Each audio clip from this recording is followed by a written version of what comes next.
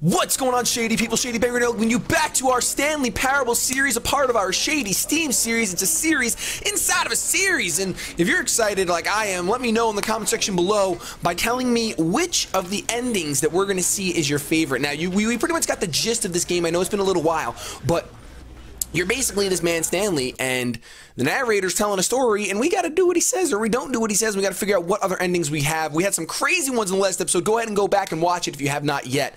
Uh, this has been one of my favorite games that I've ever played in my entire life. I absolutely love it. Let me make sure I'm recording the sound. I am recording the sound. Fantastic. It is loading, and we're going to click to skip because we've already. Yes, we don't. Okay, here we go. Oh wait, did we start off in front of our computer before? All right, so I know that one of the endings I really want to do. All of his co-workers were gone. What could it mean? I, I just hearing his voice gets me excited again. Perhaps he had um, simply missed a memo. One of the things I really want to do is I want to go ahead. None of them are waiting input. Darn it. Um, I want to go ahead and do the very. I think the very first one we did was when I had a wife, but I didn't have a wife. When Stanley came to a set of two open doors, he entered the door on his... This was not the correct way to and the I think this room, is the way that I went. Stanley knew it perfectly well.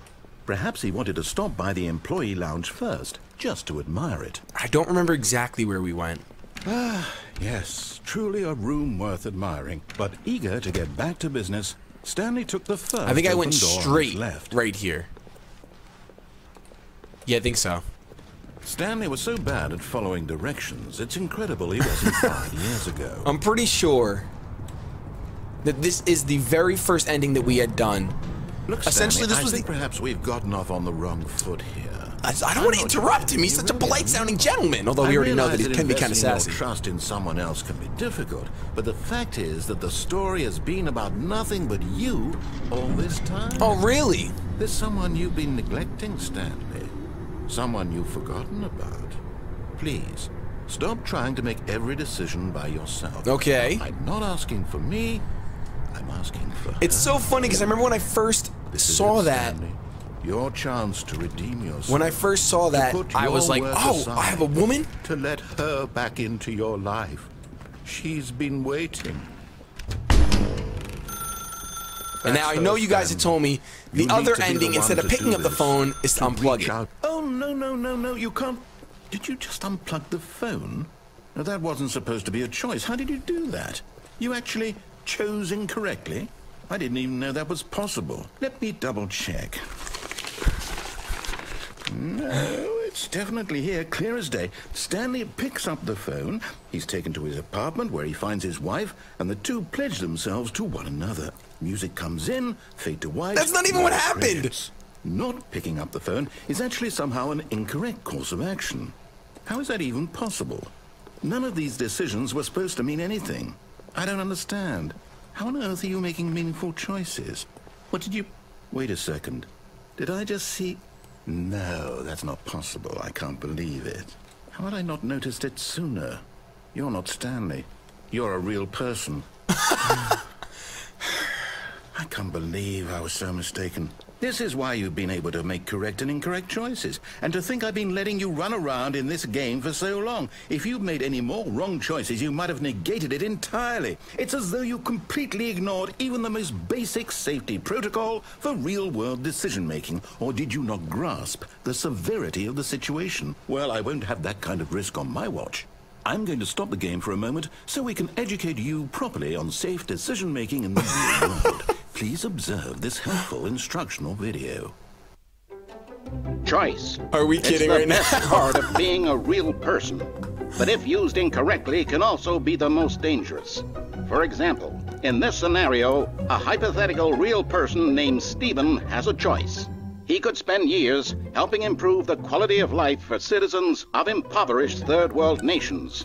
Or he could systematically set fire to every orphan living in a 30 kilometer radius of his house. Which choice would you make? Remember that unlike here, the real world makes sense, and at no time should you make a choice that does not conform to rational logic. If you find yourself speaking with a person Fish! who does not make sense, in all likelihood, that person is not real. Allow the person to finish their thought, then provide an excuse why you cannot continue talking. Turn to a partner and practice saying, My goodness, is it 4.30? I'm supposed to be having a back, sack, and crack. My goodness, is it 4:30? Excellent. Okay, I Making choices on a regular basis is the best part to a healthy decision-making process. Most medical professionals recommend making at least eight choices per day. Do you make more than eight? Less? And finally, if you begin to wonder if your choices are actually meaningful and whether you'll ever make a significant contribution to the world, just remember that in the vast infiniteness of space, your thoughts and problems are materially insignificant, and the feeling should subside. At this time, your instructor will guide you in an exercise to test and reinforce the material covered in this video. Ah, welcome back. You may have noticed that this room has begun to deteriorate as a result of narrative contradiction. But not to worry. Now that you're properly informed on good decision making, we're going to revisit a choice you made just a few minutes ago and see what the correct thing to do would have been. This way, please. Oh, oh, so I don't have to pick up the phone now? But okay, all right. We'll go this way because he told us to, so we'll do it. This door? Are we gonna go in this door? No, we're not. Okay, okay. I guess I'm going back on this. Now that we know your choices are meaningful, we can't have you jumping off the platform and Oh yeah, now it's fenced in. Imagine the main character dying senselessly halfway through the story. That story would make no sense at all. We Right. just need to get you home as soon as possible before the narrative contradiction gets any worse. Unfortunately, it seems this place is not well equipped to deal with reality. Huh. Interesting. So now I'm starting to feel like in real life my decisions actually matter. Whereas when I first played this game, I thought the message was that our decisions don't actually matter. Uh, I'm really intrigued as to what exactly the message this game is supposed to be sending to me. Working our way back. Almost there. You'll take the door on the left, back to the correct ending, the story will have resolution once again, and you'll be home free in the real world. Door on the left. Now remember, all you need to do is behave exactly as Stanley would. Okay. That means choosing responsibly and always putting the story first. I'm quite sure you'll be up to the task. Just follow my lead and you'll be fine. All right. when Stanley came to a set of two open doors, he entered the door on his left. I feel like I should go in the right door. No! Why did you do that? Quickly, hurry back in the other direction. Perhaps we're not too late. Look at this. The game is glitching. Well, purposely glitching, I'm sure. All right, so I have to I have to go in the left door. It looks like. Yeah, there's nothing over here. All right, so I gotta I gotta go in the left door. I'm glad I went to the right door though. Paintings. Were those paintings there when we first went through this game? Oh, ruined. You, I can't believe, after everything we talked about, that you, my story, you've destroyed my work. Why? For what? What did you get out of that? What did you think was so special about seeing the game undone, left here like so much garbage? It, well, it's worthless now. And what am I supposed to do? Even if there were a way to continue, would it be worth it? To know that my story is now incorrect? How can I go back to that? I can't erase that knowledge. I'll have to live with it forever. Reliving its impossibility forever. I couldn't live that way. I wonder if this would have happened to even if we didn't go in the right door. entirely? To willingly destroy all of my work? I don't know. What's the answer? What do I do? What do I do? What do I... No, I have to. I have to shut the game down. I have to. I have to. All right, well, we're going. On. Oh, this is different. That was a really cool way of shutting the game down. We've seen him do it before. What?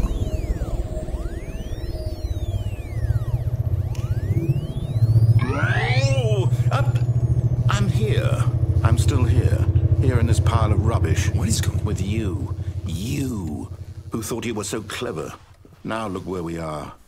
My entire game is destroyed.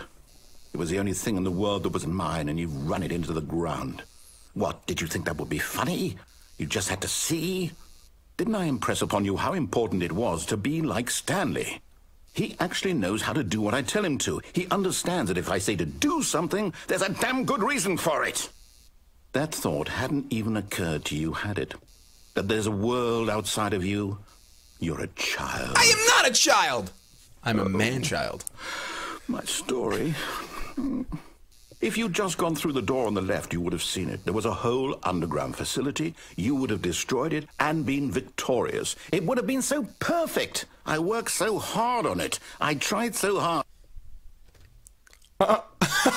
Behave exactly as Stanley would. That means choosing responsibly and Wait, we're doing this again? putting the story first. I'm quite sure you'll be up to the task. Just follow my lead and you'll be fine. All right. when Stanley came to a set of two open doors, I could fall entered asleep the to his voice. It's really nice. Wait, all right. So let's let's just go in the door on the left.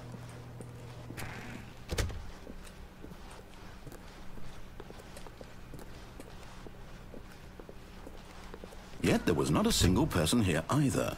Feeling a wave of disbelief, Stanley decided to go up to his boss's office, hoping he might find an answer there.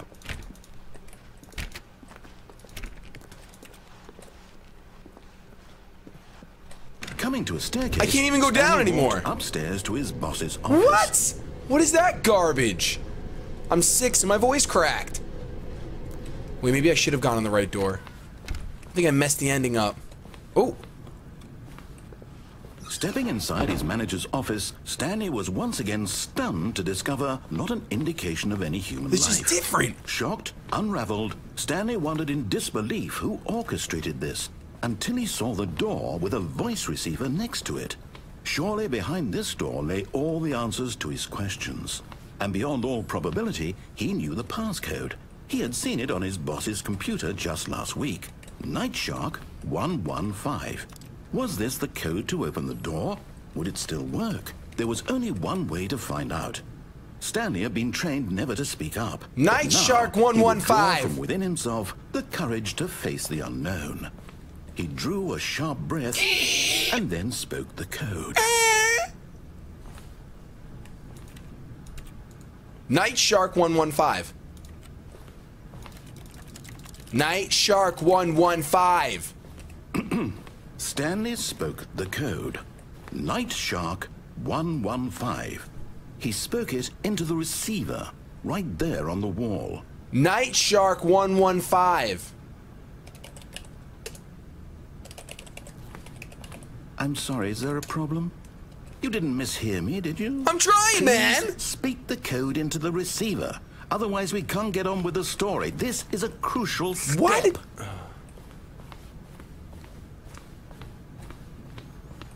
Okay, fine, you're not gonna do it, but you know what? It's pretty humiliating to bring you this far, only for you to suddenly decide you have better things to do. I asked you for this one single thing, for your respect. The kind of respect Stanley shows for his choices. He knows what it means to take a story seriously. If you didn't want to see what I had to show you, then why did you come here? You had a choice, you know. You could have gone through the door on the right. You could have done whatever the hell you wanted over there. Why did you come this way? Speak. Say something to me. Explain yourself, you coward. He's so frazzled. When Stanley came to a set of two open doors, he entered the door on his left. What? Stanley? Hello? Are you kidding me? Is everything okay? Stanley, please. I I need you to make a choice. I need you to walk through the door. Are you listening to me? Can you hear me? Is everything all right? Stanley, this is important. The story needs you. It needs you to make a decision. It cannot exist without you. Do you understand me? Whatever choice you make is just fine. They're both correct. You cannot be wrong here. We can work together. I'll accept whatever you do. I simply need you to take that step forward, please. Choose. Do something. Anything. This is more important than you can ever know. He's groveling with Stanley. The story needs it. Oh, I can't wait to get a new chair. My back is killing me. Are you there? Are you listening to this? Danny, are you there? Uh, Okay. It's okay, I can wait. You need time to decide. Time to make sure your choice is correct. That is the best choice. That's all right. I'll wait for you to decide what's the right thing to do. Take as much time as you need. Well, there we go. Well, that was one ending. Uh, that was a rather long ending. We're gonna go ahead and do another ending. One, uh, one that I know. But Stanley simply couldn't handle the pressure. Did we do this What if he had to make a decision? What if a crucial outcome fell under his responsibility? He had never been trained for that. No. This couldn't go anywhere except badly. The thing to do now, Stanley thought to himself, is to wait. Nothing will hurt me. Nothing will break me. In here I can be happy forever. I will be happy. Stanley waited. Hours passed, then days. Had years gone by? He no longer had the ability to tell. But the one thing he knew for sure, beyond any doubt, was that if he waited long enough, the answers would come. Eventually, someday, they would arrive.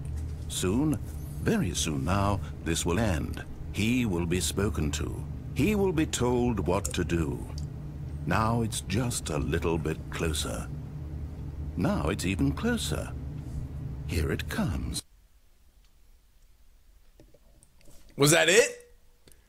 I knew that closing the door. That's it. That's an that's one of the endings. Is when you just close the door. Huh. All right. Hmm. All right. I think there's one. Do we have time for one other ending? Hmm. Wait, there's a phone ringing.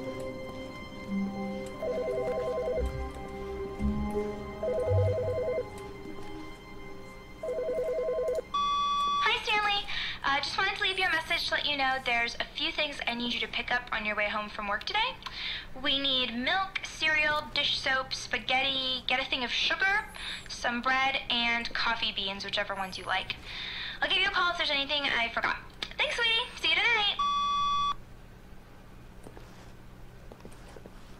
So now I have a wife?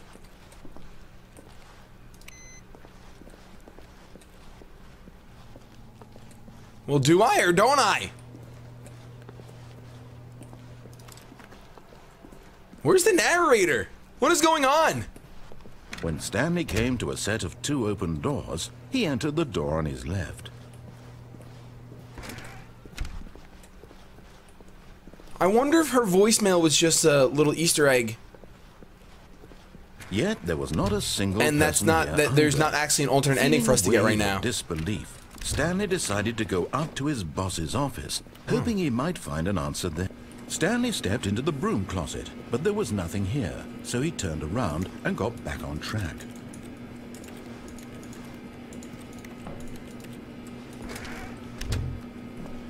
There was nothing here. No choice to make, no path to follow, just an empty broom closet. No reason to still be here.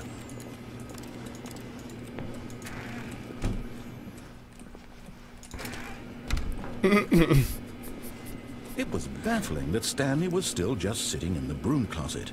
He wasn't even doing anything.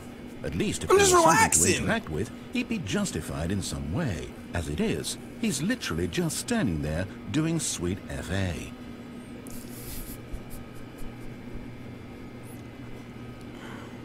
Are you are you really still in the broom closet? Standing around doing nothing? Why? Please offer me some explanation here. I'm I'm genuinely confused. So I guess the voice message from my wife was just a little Easter egg. No choice or anything in here, right? If I'd said Stanley walked past the broom closet, at least you would have had a reason for exploring it to Right, find out. right. But it didn't even occur to me because literally this closet is of absolutely no significance to the story whatsoever. I never would have thought to mention it.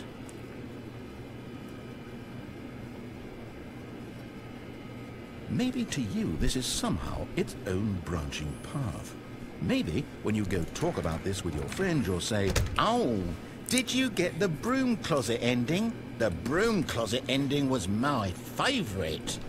I hope your friend sounds concerned. I thought he was gonna say XD or something for that. Oh my gosh. Stanley was fat and ugly and really, really stupid.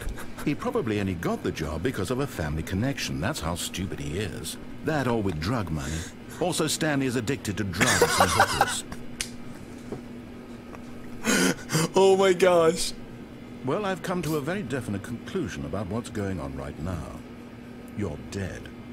You got to this broom closet, explored it a bit, and were just about to leave because there's nothing here, when a physical malady of some sort shut down your central nervous system and you collapsed on the keyboard.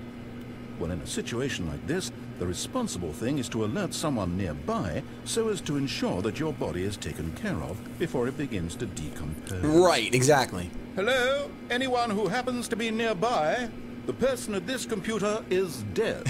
He or she has fallen prey to any number of your countless human physiological vulnerabilities. It's indicative of the long-term sustainability of your species. Please remove their corpse from the area and instruct another human to take their place at the computer. Right. Making sure they understand basic first-person video game mechanics and filling them in on the history of narrative tropes in video gaming, so that the irony and insightful commentary of this game is not lost on them. All right, when you've done that, just step out into the hallway. I'm not moving. I'm not moving. This guy's full of sass.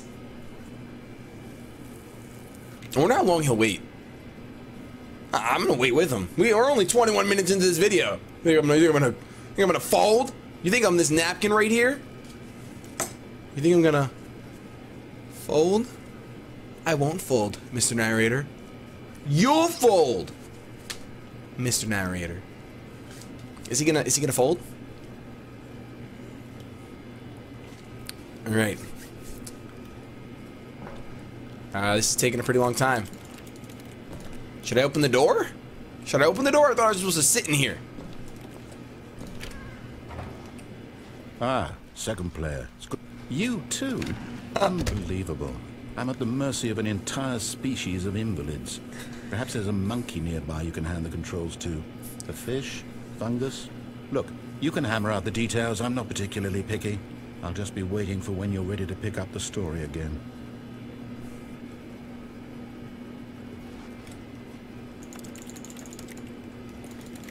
All I know is that it's, the game's supposed to end at some point.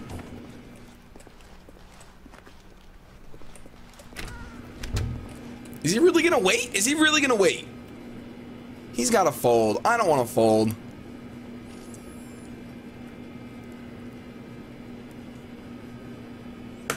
All right, so I think uh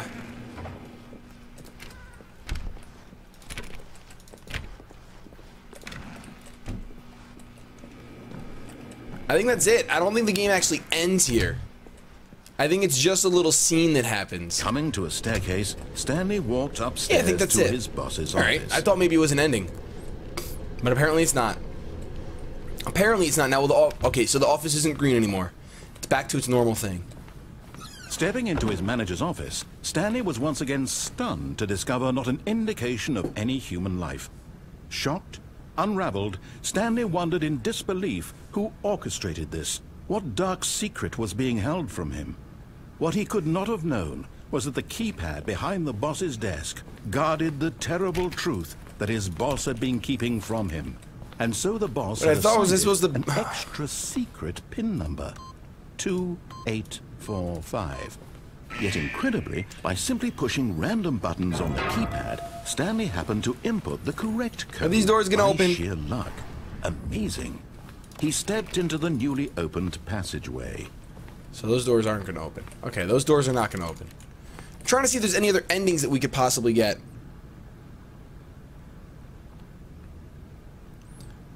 We've already gotten.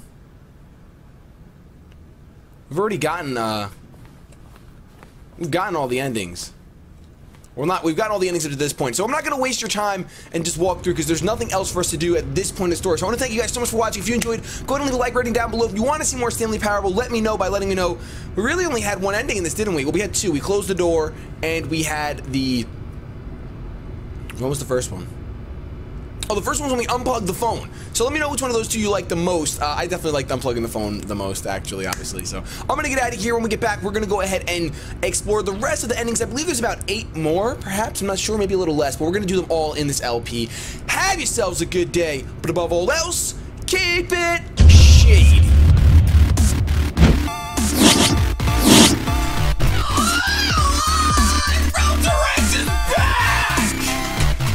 Really obvious. It's a good chance he'll go for the knockoff, but he doesn't, thankfully. He doesn't, thankfully. And that is very good for me